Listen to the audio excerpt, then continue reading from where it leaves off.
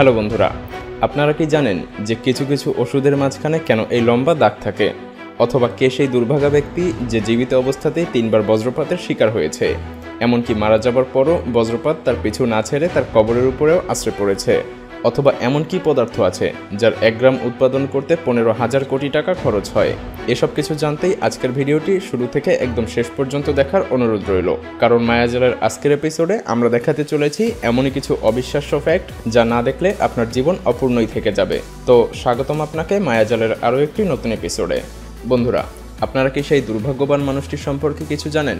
যার উপরে বেঁচে থাকাকালীনই তিনবার বজ্রপাত হয়েছিল। এমনকি সে মারা যাওয়ার পরেও তার কবরের উপরে আরও একবার বজ্রপাত হয়েছিল। এই দুর্ভাগ্যবান মানুষটির নাম হলো ওয়াল্টার সামারফোর্ড। এই ব্যক্তি ছিল ব্রিটেনের নাগরিক। প্রথমে এই ব্যক্তির উপরে বজ্রপাত হয়েছিল উনিশশো আঠেরো সালে, তখন দ্বিতীয় বিশ্বযুদ্ধ চলছিল, আর এই ব্যক্তি ছিলেন বেলজিয়ামে। প্রথমবারের বজ্রপাতে এই ব্যক্তির নিচের অংশ প্যারালাইজড হয়ে যায়। অনেক চিকিৎসার পরে তিনি দ্বিতীয়বার সুস্থ হয়ে ওঠেন। আর সুস্থ হওয়ার ছয় বছর পরেই, অর্থাৎ উনিশশো চব্বিশ সালে তিনি সমুদ্রে মাছ ধরছিলেন। আর তখনই তার উপর দ্বিতীয়বারের মতো বজ্রপাত হয়। সে আবার মারাত্মকভাবে জখম হয়। দুই বছর পর সে আবার সুস্থ হয়ে ওঠে। আর বজ্রপাত তখনও তার পিছু ছেড়েছিল না। উনিশশো ত্রিশ সালে তার উপরে আবার বজ্রপাত হয়। আর এবারের বজ্রপাত হওয়ার পরে সে দুই বছর পর্যন্ত জীবিত ছিল। হ্যাঁ বন্ধুরা, সে উনিশশো বত্রিশ সালে মারা যায়। এরপর তাকে একটি কবরস্থানে দাফন করা হয়। কিন্তু তারপরও বজ্রপাত তার পিছু ছেড়েছিল না। এরপর আবারও তার কবরের উপরেই বজ্রপাত হয়। আর এই ঘটনাটা ঘটে তৃতীয়বারের বজ্রপাত হওয়ার ছয় বছর পরে। হ্যাঁ বন্ধুরা, এ যেন এক অবিশ্বাস্য কাহিনী। বন্ধুরা, নিশ্চয়ই আপনাদের মধ্যে অনেকে হলিউড মুভি হবিট দেখেছেন। আর এই মুভিটি দেখার পরে আমাদের অনেকের এমন মনে হয়েছে যে আমাদের যদি হবিটের মতো একটি ঘর থাকতো। বন্ধুরা, আপনারা জানলে অবাক হবেন যে চীনে একটি গ্রাম রয়েছে যে গ্রামটি দেখতে পুরোপুরি হবিট ভিলেজের মতো। চীনের এই গ্রামের নাম হাওয়ান ভিলেজ। কয়েক দশক আগে এখানে জেলেরা বাস করত। তারপরে প্রাকৃতিক বিপর্যয়ের কারণে মানুষ এই গ্রাম ছেড়ে অন্য জায়গায় চলে গিয়েছে। আজ প্রকৃতি এই গ্রামটিকে নিজের মতো করে সাজিয়ে নিয়েছে। উনিশশো আশি সাল পর্যন্ত এই গ্রামে তিন হাজার জেলে বাস করত। লতাপাতা, গাছপালা সবকিছু এখন এই গ্রামের ঘরগুলোকে একেবারে চারপাশ থেকে ঘিরে ফেলেছে।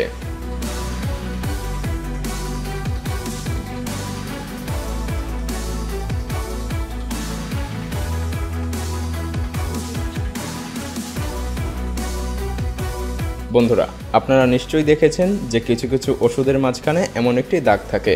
অবশ্য সব ধরনের ওষুধের উপরে এরকম দাগ থাকে না। কিন্তু বন্ধুরা, আপনারা কি জানেন ট্যাবলেটের এই দাগ কেন দেয়া হয়? যদি না জেনে থাকেন, তবে আমরা আপনাকে জানিয়ে দিচ্ছি। বিভিন্ন কোম্পানি বিভিন্ন পাওয়ারফুল ট্যাবলেট প্রডিউস করে। আর কোনো কোনো সময় রোগীকে এসব পাওয়ারফুল ট্যাবলেটের অর্ধেক খাওয়ানোর প্রয়োজন পড়ে। আর রোগী যাতে সহজে সমানভাবে ভেঙে দুই ভাগ করে খেতে পারে, সেজন্যই ট্যাবলেটের মাঝখানে এই ধরনের দাগ দেয়া হয়। আর এই দাগের নাম হলো ডিবোজড লাইন বন্ধুরা, আপনারা কি জানেন যে পৃথিবীর মধ্যে সবথেকে দামি কাঠ কোনটি? আপনারা হয়তো ভাবছেন, পৃথিবীর মধ্যে সবথেকে দামি কাঠ হলো চন্দন কাঠ। কিন্তু না, এর চাইতেও দামি কাঠ রয়েছে আমাদের পৃথিবীতে, এবং সেটা রয়েছে আফ্রিকাতে, এবং এই কাঠের নাম হলো আফ্রিকান ব্ল্যাক উড হ্যাঁ বন্ধুরা, এটাই পৃথিবীর মধ্যে সবথেকে মূল্যবান কাঠ। চন্দন কাঠ প্রতি কেজির দাম পাঁচ হাজার থেকে ছয় হাজার টাকা হলেও আফ্রিকান এই ব্ল্যাকউডের দাম প্রতি কেজি প্রায় সাত লক্ষ টাকা। তবে এই গাছ খুবই দুর্লভ। আফ্রিকার খুবই অল্প কিছু জায়গাতেই এই গাছ পাওয়া যায়। এই গাছের উচ্চতা পঁচিশ থেকে চল্লিশ ফিট পর্যন্ত হয়ে থাকে। আর এই গাছের কাঠ পরিপক্ক হতে তিরিশ থেকে চল্লিশ বছর পর্যন্ত সময় লেগে যায়। এই গাছের কাঠ দিয়ে বিভিন্ন রকম বাদ্যযন্ত্র তৈরি করা হয়। তবে অনেক মূল্যবান ফার্নিচারও এই কাঠ দিয়ে তৈরি করা হয়। বন্ধুরা, আমাদের পৃথিবীতে হাজারো অদ্ভুত অদ্ভুত মানুষ ছড়িয়ে ছিটিয়ে রয়েছে। আমরা তো অনেক মুভিতে সুপার হিরো দেখেছি, যাদের কিনা অদ্ভুত অদ্ভুত ক্ষমতা থাকে। তবে বাস্তবেও বিভিন্ন সময় মেডিকেল কন্ডিশনের কারণেও কিছু মানুষ সুপার পাওয়ার অর্জন করে ফেলে। আর এই ব্যক্তি তেমনই একজন মানুষ, যার নাম হলো গ্যারি টার্নার। এই ব্যক্তি আমেরিকাতে বসবাস করে। এই ব্যক্তি তার শরীরের স্কিনের জন্য পুরো পৃথিবী জুড়ে বিখ্যাত। তার পেটের চামড়া পনেরো দশমিক আট সেন্টিমিটার পর্যন্ত সে ট্রেনে লম্বা করতে পারে। আর তার এই অস্বাভাবিক ক্ষমতার কারণে গিনেস বুক অফ ওয়ার্ল্ড রেকর্ডেও তার নাম উঠেছে। এই ব্যক্তিকে বলা হয় মোস্ট স্ট্রেচেবল ম্যান এই ব্যক্তির চামড়া এমন অস্বাভাবিক হওয়ার কারণ হলো এই ব্যক্তি ইলহার্স ড্যানলস সিন্ড্রোমে ভুগছেন। আর এই রোগে ভোগার কারণেই এই ব্যক্তি এই অস্বাভাবিক পাওয়ারটি পেয়ে গিয়েছে। আপনারা নিশ্চয়ই দেখে থাকবেন যে হাসপাতালে মৃত ব্যক্তিকে প্রিজার্ভ করে রাখার জন্য ঠান্ডা রুমে রাখা হয়।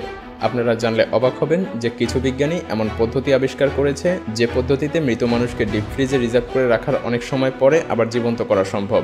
হ্যাঁ বন্ধুরা, আমেরিকান কিছু বিজ্ঞানী এমনটাই দাবি করেছে।